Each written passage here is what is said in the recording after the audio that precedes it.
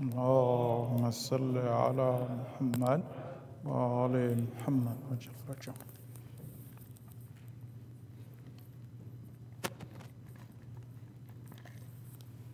So I just want to make sure that the mic is working, inshallah. أعوذ بالله من الشيطان الرجيم بسم الله الرحمن الرحيم الحمد لله رب العالمين والصلاة والسلام على سيدنا ومولانا أبي القاسم المصطفى محمد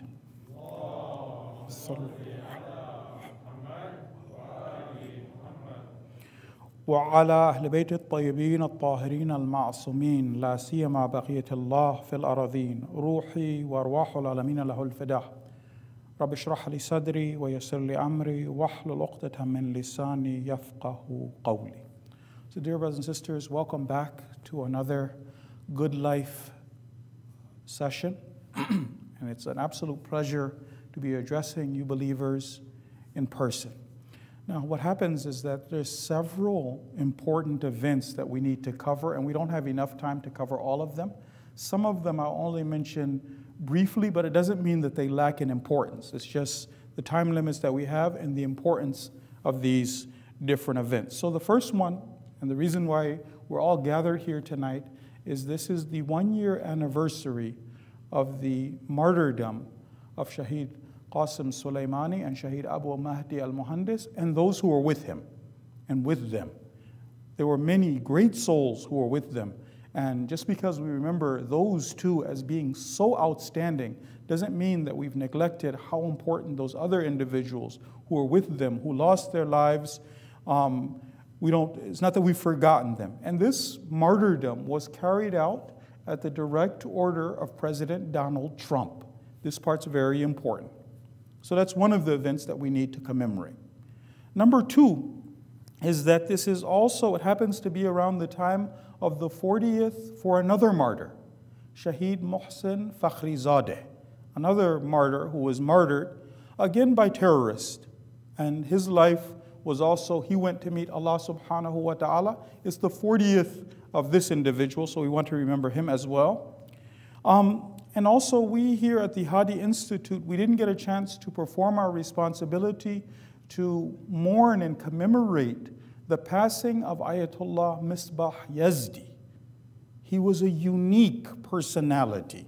And I want to mention just a little bit about him. Again, this, none of us is going to do justice to those souls and what they've done for Islam. the other one is also that I feel I need to address, at least briefly, is that a movie was made by Sheikh Yasser al Habib. It was called The Lady of Heaven. So we need to talk a little bit about that movie as well. And then finally, we all witnessed just the other day the chaos on Capitol Hill. So I think it will be good to spend a few moments also talking about that and what that means for us as well. But first, I need you to send a salawat ala Muhammad wa ali Muhammad.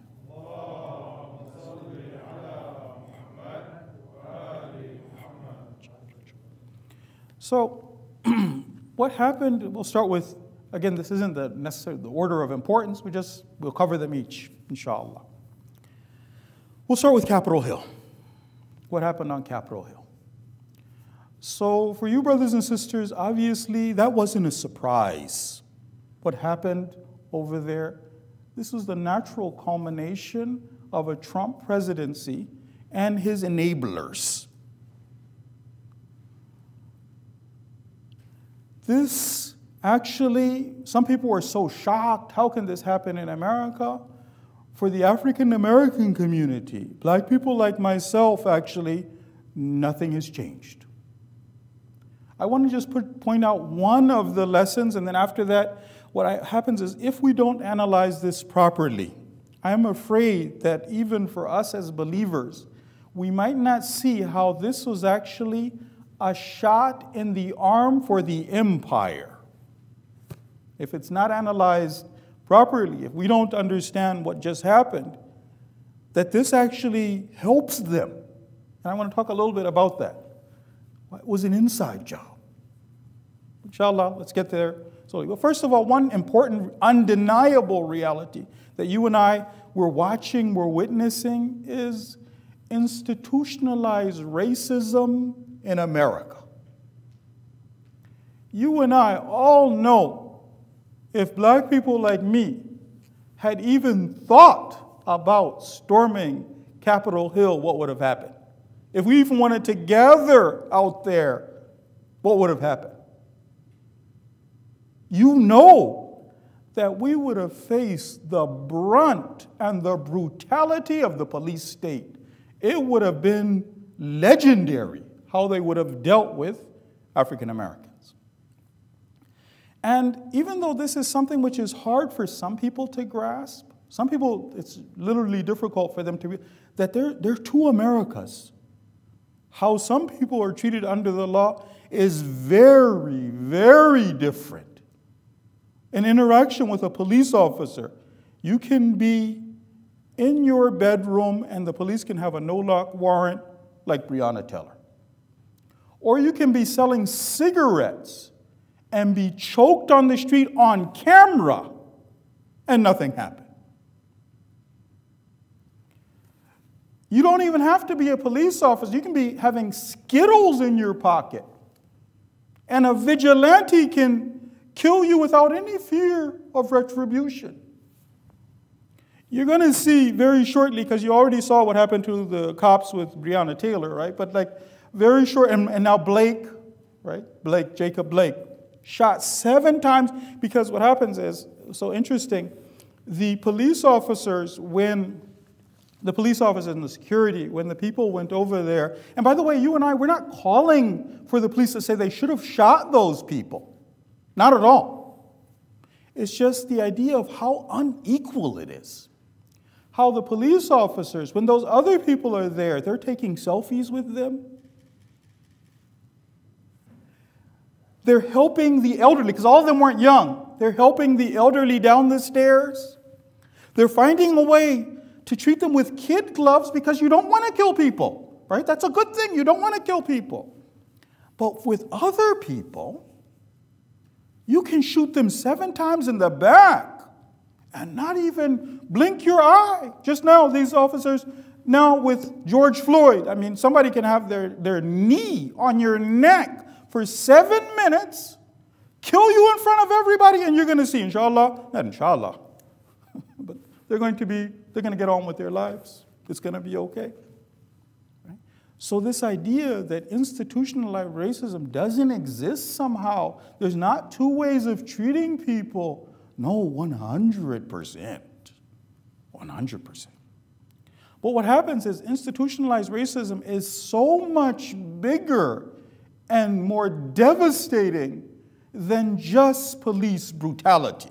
That's also something that would be a mistake to trivialize this and say that, oh, well, it's just if we could just reform the police department, then things would be okay.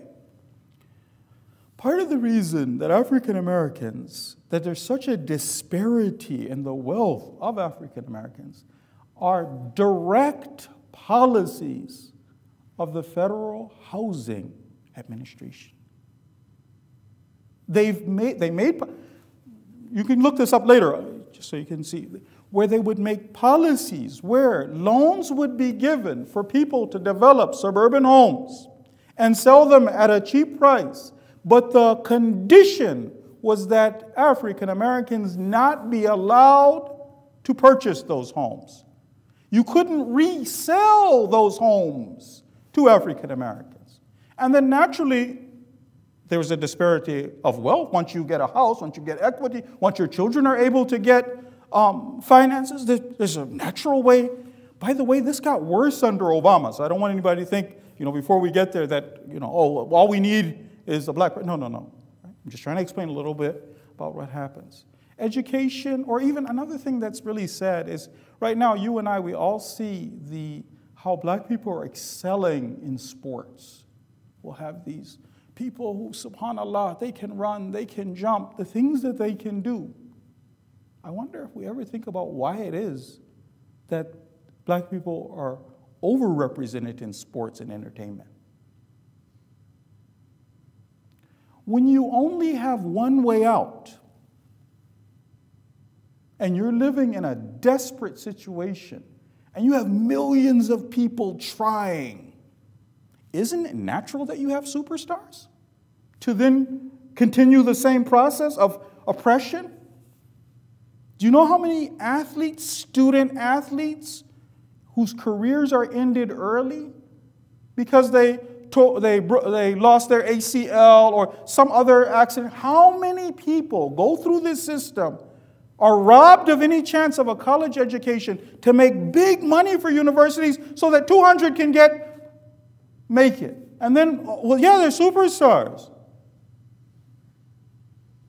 This is so much greater than just the idea of this kind of inequality. Um, and I also, I mean, there's so many examples, but I think you guys you can go over because you're trying to prepare the world for the coming of the Imam. And you know, and I'm going to mention the hadith, that racism is just one of the evil fruit of the system of Pharaoh. And you can't solve this problem. You're not expecting, as a believer, well, now Joe Biden is there, Kamala Harris is there. Things are going to be different. The system is what is Islam's solution? This is also important for us to keep in mind. Once Malcolm X, may have mercy on his soul, was addressing an issue or an incident of police brutality. And he explained, he said that you've got to go deeper. You've got to address the root. You don't just address a symptom. What's the cause of this? What's the cause? This is one of the policies of a system which is based on non divine rule. I'll mention one of the verses of the Quran about this, and then after that, let's talk a little bit about the solution. Right? Surah 28, verse number 4. Inna Fir'aun, the system of Fir'aun, not just that one person.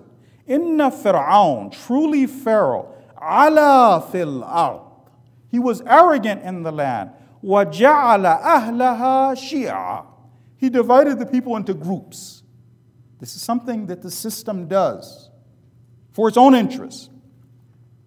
يَسْتَضْعِفُ طَائِفَةً Yes, one group was selected for punishment and mistreatment. For instance, here in America, the black people suffer more from racism. So racism affects other people, by the way. But those who get who catch it or the African American community. But no ma- this is important now. No matter who becomes president, no matter how woke or liberal they are, that's not going to solve this problem or the rest of the problems of America. The Islamic solution, Malcolm X said this, if you see towards the end of his life, the solution in America, he taught us, was Islam. We don't want to get all worked up about this and, not, and want to only fix this. What's the pro- this is one of the fruit of this evil tree. The Ahlul Bayt have taught us a hadith from Imam Sadiq. He says this: "Nahnu aslul khair." We are the root of all goodness. Wa furu'uhu ta'atullah. The branches or the obedience of Allah. The other good thing, equality, justice, being equal under the law, opportunity, those are all good things, but where does it start? The wilayah of the wali of Allah, what you're working for with the coming of Imam Mahdi.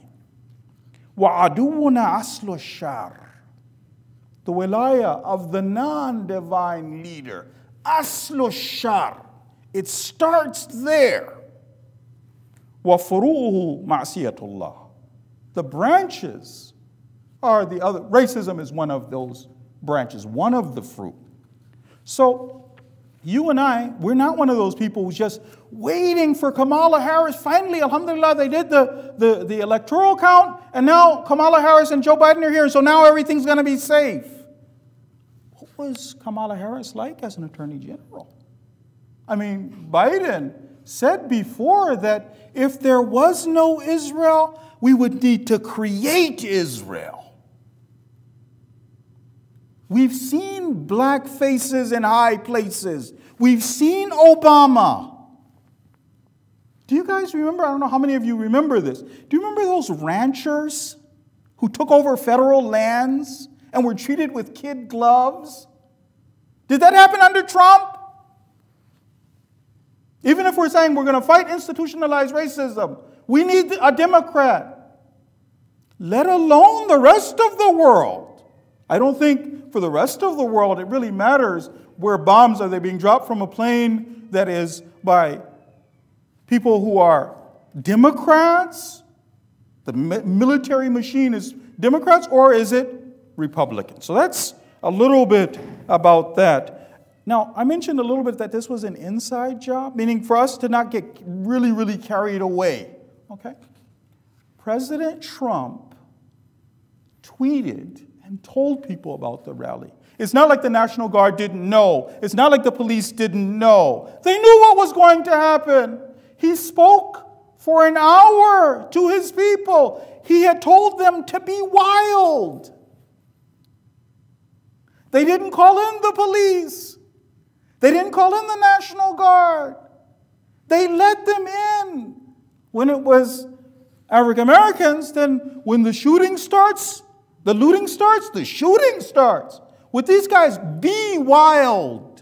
It's going to be a magical day to Americas. But is the solution a Democratic president? If Sleepy Joe is here, then inshallah everything will be fine. The same person who has expressed for you what his views are. This idea, well, no, oh, okay, if it's not him, AOC. No, as I mentioned in the beginning, this is actually a shot in the arm for the empire. There are some people who next election will be so frantic, to, they'll consider it their moral obligation to vote for a Democrat because we can't have Trump. There's some people going to be like that. There's some people on the Trump side who are going to be like, well, they stole the vote. We got to get in there. So, what the empire needs is that people believe that the elections matter. They need people at the, the bucks. Yes, it was a shame for America. He did cut at the root of the trust of the people of the electoral system. I mean, the same people who are now uh, elected Joe Biden they also elected the Republicans. They elected him last time. They're working in the ballot box. Yes, it is a shame for America. It is hurting the prestige of America. But don't think that this, if it's not understood, that the only way is the kingdom of God on the earth, that this is going to hurt the empire. They'll figure it out. They'll figure it out. So, also, last point is that you and I, although there is no comparison between Muslims, and the racism in America, there is racism amongst Muslims. There is racism amongst Muslims, unfortunately. And it shows itself in many ways. Sometimes how we treat other Muslims from other ethnic backgrounds is something that needs to be corrected. Marriage, if that comes up, sometimes how our African American sisters, brothers and sisters are treated if they come to masajid. Sometimes I find even amongst Muslims, those who are of darker complexion, amongst the same race or the same ethnic group.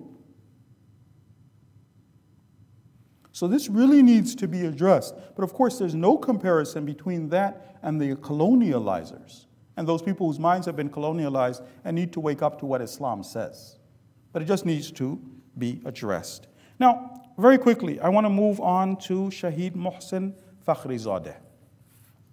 Shahid Mohsen Fakhrizadeh was a leading academic. Now, to me, he is an example for all of us, especially those of us who have the blessing or have been blessed with secular education. Some of us have been blessed with the blessing of secular education, is there a responsibility and a way for us to contribute to the cause? Yes. Who are our role models? People like Shahid Fakhrizadeh. What Islam teaches us is this It's from Amir al-Mu'mineen. It's quoted uh, from Amir al-Mu'mineen. Al-ilmu sultanun. Knowledge is power. Man wajadahu salabih. Whoever finds knowledge dominates through it.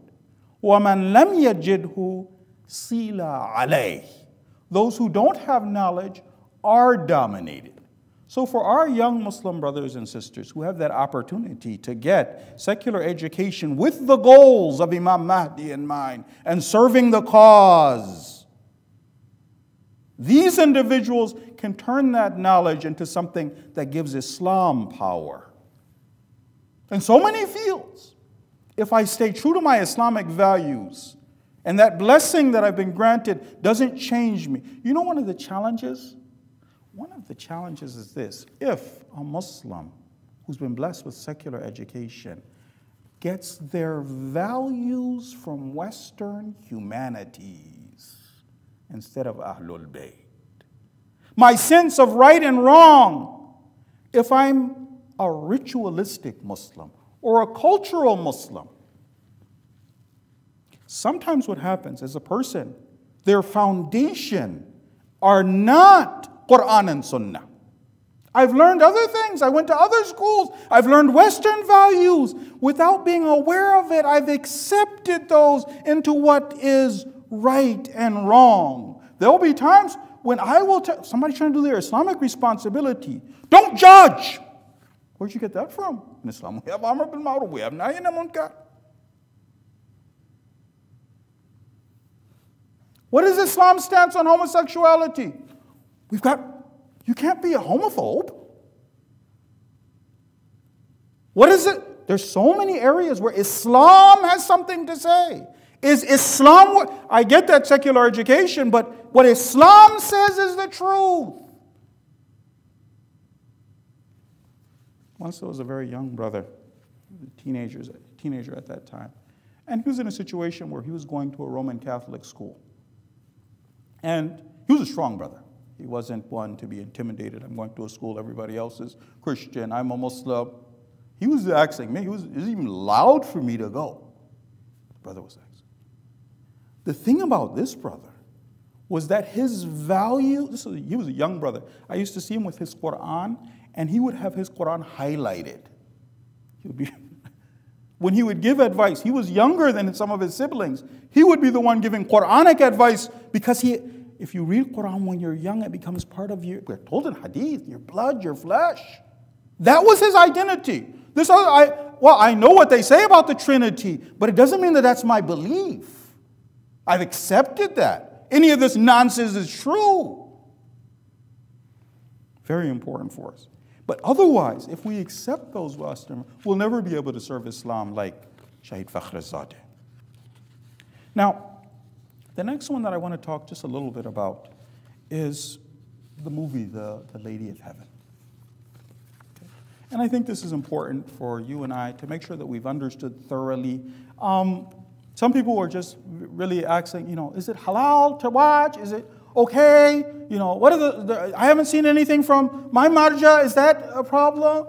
Right? That means I really, I haven't learned to connect the dots. I don't know what's at play. Why? I want to ask them some questions just for us to start thinking about, right? Why, in the time when, at the end of the Trump administration, there is so much pressure on Muslim nations to normalize ties with a Zionist entity, why at this time release the movie? Why it is important that Sheikh Yasser al Habib control the narrative on such a sensitive issue like the Shahada of Lady Fatima. Who is Sheikh Yasser al Habib? Why would the UK pressure the Emir of Kuwait to release him early. They have this idea of al-af. Right? That happens that sometimes they release, but why was he pressured? Not even to allow the cycle to go to, why do you immediately you have to get him out? Why does he need to be in England? What's so important about this individual? Now, brothers and sisters, I want us, oh, even, even think about this, right? You see how, how sensitive right now Twitter is, right? If you say hate speech? Ofcom in England, why does he have a platform? Is hate speech very dangerous? Why him? Now, this one, brothers and sisters, I want us to practice connecting the dots. I don't want to make a conclusion for us. I want us to think about some things. Allah says this about some of the enemies of Islam in Quran. Okay, so you can look this up later. Surah Muhammad sallallahu alayhi wa alayhi wa sallam. Allahumma salli ala Muhammad wa ala Muhammad. Surah 47 and verse number 30. What does God say? Why doesn't God make it easy? Sometimes you have to connect the dots. What does God say? God says this وَلَوْ نَشَاءُ If we wanted to, لَأَرَيْنَاكَهُمْ We would have showed you who they were. وَلَتَعْرِفَنْ وَلَتَعْرِفَنْ My glasses aren't. Yeah. وَلَعَرَفْتَهُمْ بِسِيمَاهُمْ فَلَعَرَفْتَهُمْ بِسِيمَاهُمْ After that, you would have known them by their mark if we told you. If we wanted to, we would have quickly shown you who these guys were. But what else does God say? وَلَتَعْرِفَنَّهُمْ فِي لَحْنِ الْقَوْلِ If you pay attention to their words, you'll know who they are. God doesn't make it easy. You, as a mu'min, you have to connect the dots some clues now. Imam Khomeini, may Allah have mercy on his soul, taught us that those who attack marja'iyya, there's some people in the time of Imam Khomeini, they would attack maraja. Maybe even on behalf of Imam Khomeini. These marjas are like this. They attack marja'iyya. Imam Khomeini was so upset when he heard this. He said that, he explained to us, those who attack marja'iyya are out of the wilaya of Allah. Out of the wilaya of Allah. What does Sheikh Yasir al Habib say about Ayatollah Sistani? These are things you can look up. It's not, oh, the Sheikh said it, it must be right. No, no. Some of you know Arabic. What did Sheikh Yasir al Habib say about Ayatollah Sistani? You know, in America, we have this saying that you don't speak ill of the dead. Some people are so angry at Maraja. Even Maraja who are among the marhumi, what did he have to say about Shaheed Muhammad Baqir Sadr? I mean, he passed. What does he say about Ayatollah Bahjat marhum? So that's just one clue. What does this man say about the symbols of resistance? Because you and I, we have no, no doubt of who Israel is and who Netanyahu is. What does he say? We look at this up ourselves about Qasim Soleimani. We're here to commemorate him, the whole world mourning, Shia, Sunni, Muslim, Christians. What does he say about it? What does he say about Sayyid Hassan Nasrallah? What does he say about Imam Khamenei? Like, just have to put the dots together. It shouldn't be that difficult. It's not like that story they tell about this professor in Iran. They said there was this university professor. And so he asked his students, he said, um, What's the answer to such and such question? So one student stood up and he said, The answer is this. And he said, Barakallah. And then somebody else said, But Ustad, this is the answer. The opposite of what he said. He said, Also Barakallah. Then somebody stood up and he said, Look, you said Barakallah fikum to him, and he gave you one answer. He gave you the opposite answer. You also said Barakallah fikum. He said, You also Barakallah fikum. It shouldn't be that hard to connect the dots. Also, when it comes to insulting any of the wives of the Prophet, because you know the fatwa of your Maraja, your marja, what have they said about insulting the figures of our Sunni brothers and sisters? What have they said? You know, what you know this is the naib of the imam. Sometimes what happens is the maraja give you a little bit of the wisdom behind why they're making their ruling. Just a little bit of it. You know, one of the reasons why it's intolerable for him to insult Umm? Because whoever insults any of the wives of the Prophet is insulting Prophet Muhammad sallallahu alayhi wa alihi wa sallam.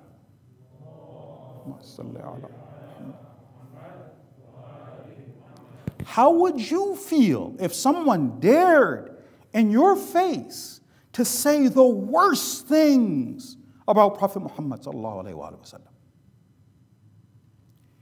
If someone thinks they're clever and that you, as one of the Shia of Amir al-Mu'mineen, you're so backwards, I can pull this off in front of you, right in front of you, and say it to your face. We're not about rewriting history. In the Battle of Jamal, this is for us to just see after the Battle of Jamal, how did Imam Ali, Imam Ali wasn't afraid of anybody. How did he treat Umm al-Mu'mineen? The deference. What did he do? Only because of Rasulullah. So somebody has this much hatred for Rasulullah. They're making a film about his daughter. This person is either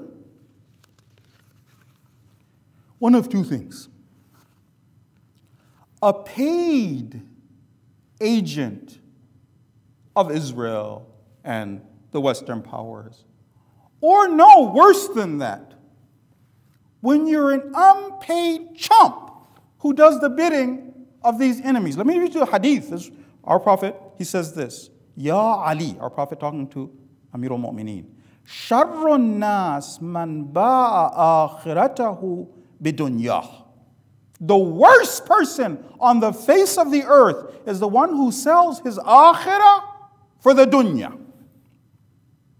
وَشَرٌ مِّن ذَلِكَ Worse than that person, man ba'a akhiratahu bidunya ghayrihi. Worse than that person is the person who sells his akhirah for the dunya of someone else. I'm not even getting the money. Why did they take this talented individual out of prison? What did he do? Now, one of the things about this individual is that you and I know how thirsty he is for blood of little children. Now, by the way, just so you know how terrible that is, someone who, said, who even says half a shatra kalama, half a word and it causes the blood of a believer to be shed will be raised on the day of judgment, and it will be written on their forehead that they have no hope in the mercy of Allah. So now, this individual who's so thirsty for the blood of Shia, Sunni, Christians, because ISIS, what were they doing? What was the excuse? There's something else that you brothers may have noticed before. In Pakistan, they would have targeted killings. Right? So you are an alim who's calling for unity. We have to kill you. Why do we kill you? You, uh, you curse the Sahaba. You are a doctor. You are a lawyer. Why do we kill you? You curse the Sahaba. What was interesting, though, is that in Pakistan, they wouldn't kill the one who was cursing the Sahaba. He'd stay alive. They're killing you. Why? Because in your heart of hearts, you're cursing. They keep them alive. His protection was so strong over there. He had to tell them to back up. It was just so obvious. Yasir al Habib. So now, this person who's thirsty, because you and I, have any of us, you saw what just happened in Kuwait, right? Kuwait, Pakistan, those shuhada that we lost. I don't know how many of us are aware of this. Or what happened in Iraq. Do you remember? There's videos, I mean, and if you have the heart to see these videos, where there's a camp in Iraq called Camp Speicher. 1,700 young cadets were taken out. And if you listen to the Arabic of the video as they're blowing the brains out of some of these young men, they're saying, This is because of Umm al Mu'mineen Aisha. Those insults that happened, now I'm blowing the brains out of these people. So, someone who's like this, who is stoking, who's, because there's no excuse for what they're doing, and no normal Muslim would do this, but the person who's stoking this to give them the excuse, you know, there's another video you can see. Sheikh Al Ar'awar, the Wahhabi, he says, No one has done khidmah to Islam like Sheikh Yasir Al Habib, including myself, including many Wahhabi preachers who are much greater than I. And he mentions this on TV. That no one has served us like Sheikh Yasser Al Habib. So, this person who wants to see little boys and girls slaughtered, who enjoys that, and is make if Netanyahu made a movie about Lady Fatima, how is it jaiz? Should we see it? Is it good? The enemies of Islam. We also need to talk, and my time is coming to an end because the main talk was about the shuhada, but let me see if I can go through this a little bit more quickly. The sad demise of Ayatollah Misbah Yazdi, may Allah have mercy on his soul. If you, we don't have time for it now, but if you could see the praise of Allama Tabatabai for this individual, Imam Khomeini, Ayatollah Marhum Mishkini, Ayatollah Jawadi saying that, may I be sacrificed for Ayatollah Misbah Yazdi. Um, Ayatollah Madahiri, like these individuals, what did they say about Ayatollah Misbah Yazdi? And Imam Khamenei saying that he's a brother, that he filled the, the place of Allama Tabatabai, of Shahid Mutahari, this kind of an individual. And someone, there's so many lessons to learn from this individual. Someone who became a mujtahid at such an early age, but didn't take the path of marja'iyya. Instead worked on fixing and explaining to people the Islamic perspective on many issues which affected their lives. For instance, just one example the humanities, Western humanities. What is the Islamic stance on that? Who's the person who did the work on that? So much service to Islam as far as teaching and studying and creating those people who would be able to serve the ummah. And he himself, although he has the status of someone who's at the level of marja'iyah, would sacrifice his name and his integrity. He used to go, Marhum Ayatollah Misbah Yazdi, before the Salatul Jumu'ah in Tehran, and he would go over and speak. And people came, ulama came to him that you at this status, you send your students. Because you should see what they did to him in Iran. The way the enemy did character assassination of Ayatollah Misbah Yazdi was incredible. Anyone who knew how gentle he is, how fair he is, but how was he painted in the average mind of university students and regular mu'mineen who had no idea of the status of Ayatollah Misbah and how he was in his akhlaq and his humility. But he was always someone, what does Islam need?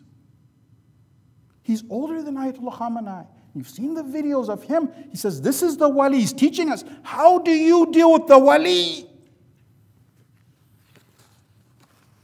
When he was the leader who said, because he used to be part of the Council of Guardians, the leader said, that being on the Council of Guardians does nothing for Ayatollah Misbah Yazdi. It adds weight to the Council of Guardians. This kind of an individual at that level of quality, of, and there's no way I can summarize so who he was as far as his knowledge, and then taqwa, and then his relationship, the spiritually how he benefited from Allah from, from Ayatollah Bahjat himself. Who was this man? And then how he refused to defend himself and defend his name, and everything was just Islam. Brothers and sisters, that's even harder sometimes than going on a battlefield, is to take the criticism. People talking you, mocking you. When you're elderly, now you're supposed to be venerable. Anyhow, may Allah have mercy on his stage. I have to and you are with me inshallah and you're going to show this inshallah with the salawat ala Muhammad wa ala Muhammad that we commemorate the shahada of this great shaheed who was martyred at the orders of Donald Trump. Salawat please.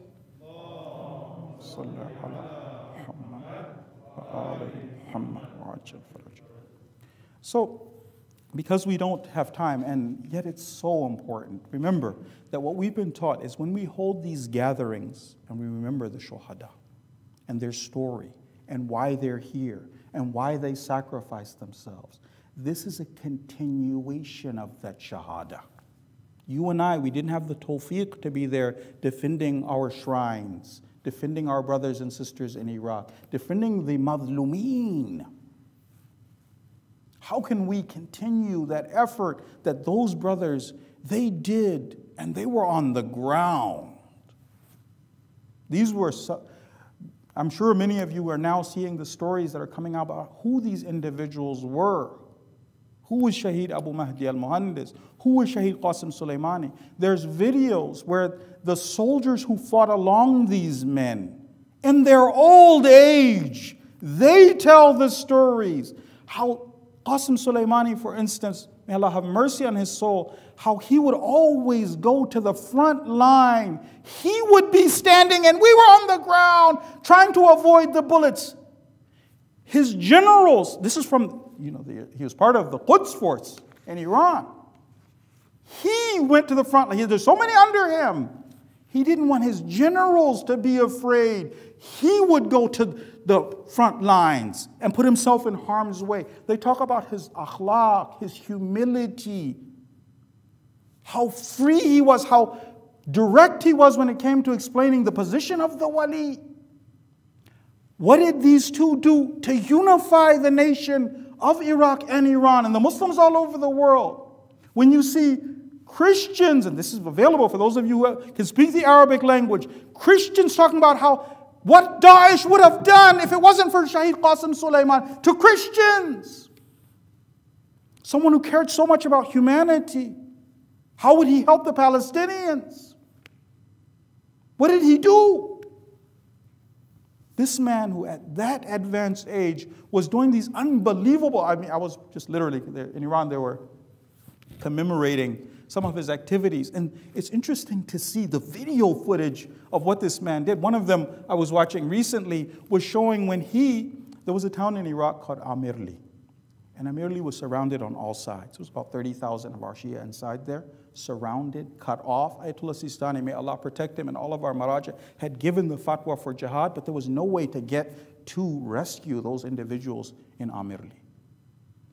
So they're surrounded on all sides. Daesh. And remember Daesh and how they came in the videos, and you've seen and slaughtering, cutting off the heads. And these Shia were going to resist till the last drop of their blood. They show the video where the helicopter of Qasim Soleimani is flying in the air and Daesh are shooting at him. Like if you look at the video footage, it says Daesh cameras. to land inside. When you're Qasim Soleimani, the whole world wants to get you. Land inside, on the front lines. Organize the believers. Fight your way out from inside. And how many missions like this? You've seen the videos where Shaheed Qasim, uh, Shaheed, Allah give him long life. Sayyid Hassan Nasrullah was saying, he was saying, I was offering prayer. Sayyid Hassan Nasrullah, may Allah protect him.